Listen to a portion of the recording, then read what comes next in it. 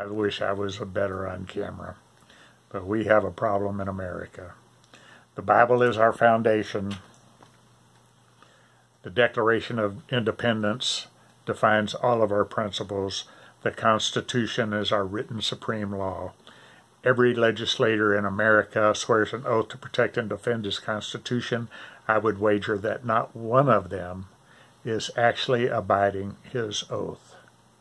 Is your legislator abiding his oath? Do you even know what he must abide by when he takes that oath?